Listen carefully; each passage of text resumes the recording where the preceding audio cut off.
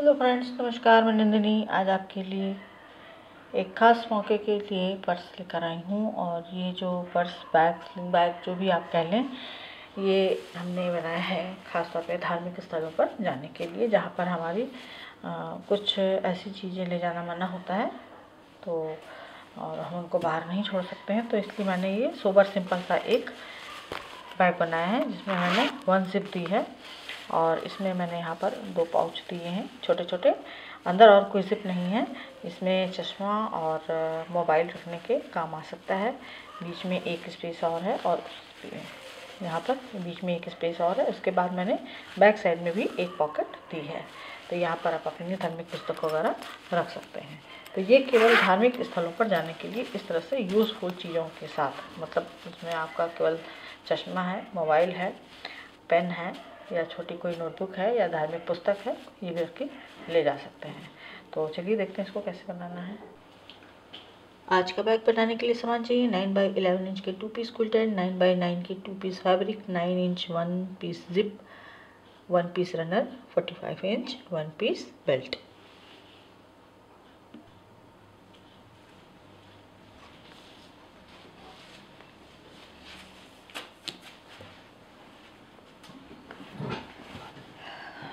सबसे पहले हम लेंगे नाइन बाई एलेवन इंच का वन पीस और जिप और रनर तो ये हमने टू इंच डाउन जा कर के एक निशान लगाया है।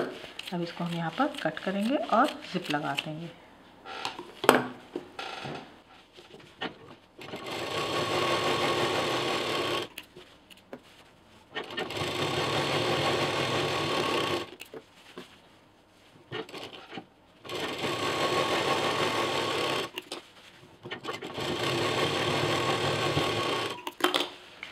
इसको जिप को लगाने के बाद इसमें रनर डाल देंगे।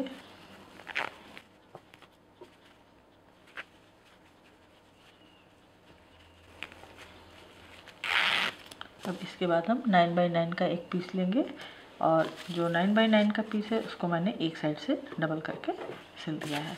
और इस तरफ़ अब हम, ये हमने सेवन इंच बॉटम से अप जाएँगे। ये तो हमने यहाँ पे जिप लगा दी है। यहाँ पर हमने सेवन इंच पर एक मार्क लगाया है और इसको हम यहाँ पर जोड़ देंगे। और जो बढ़ा हुआ है कपड़ा, उसको हम कट कर देंगे। क्योंकि हमको यहाँ मोड़ना था, इसलिए हमने नाइन बाई नाइन का लिया था। मोड़ने में पता नहीं कितना जाए।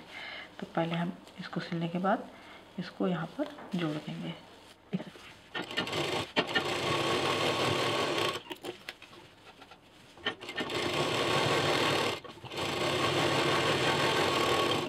इसको सिलने के बाद अब इसको हम एकदम हाफ़ एंड हाफ़ पर निशान लगाएँगे फोर एंड हाफ़ इंच पर लाइन खींचेंगे और सिल देंगे।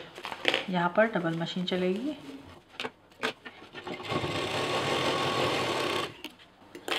अब दूसरा पीस लेंगे नाइन बाय नाइन का और कुल्टेड पीस इसमें भी हमने ये सेवन इंच पर निशान लगा रखा है। इसको भी उसी तरह से लगा देंगे।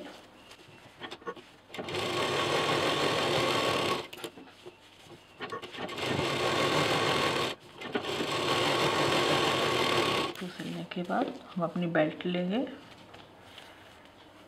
और इसको यहाँ वन इंच की दूरी पर लगा देंगे।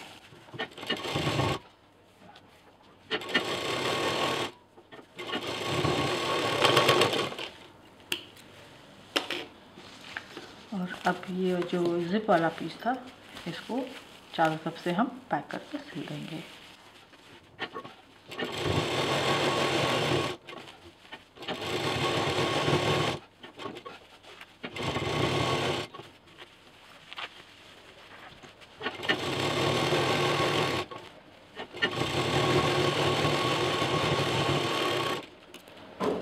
और अब इसको यहाँ से खोलेंगे।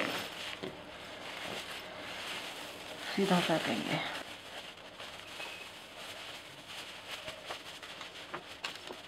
और ये पैक हमारा कंप्लीट हो गया है। और इसमें अब किनारे किनारे एक फिनिशिंग की मशीन चला देंगे, जिससे इसकी मजबूती भी आ जाएगी। और जो अंदर की थोड़ी बहुत सिलाई दिख रही है, वो भी दब जाएगी।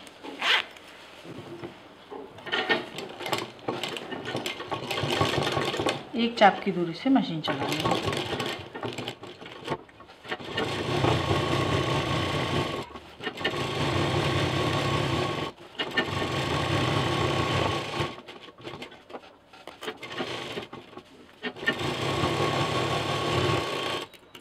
ये हमारा बैग कंप्लीट हो गया। और वन जिप में हमने इसमें टू पॉकेट यहाँ अंदर दी हैं और एक फुल पॉकेट यहाँ पर दी है। तो ये बैग जो है, ख़ास तौर पे जैसे हम लोग कहीं धार्मिक स्थल पे जाते हैं तो वहाँ पर लेदर का सामान ले जाना मना होता है। यहाँ तक कि बेल्ट वगैरह भी उतरवा देते हैं।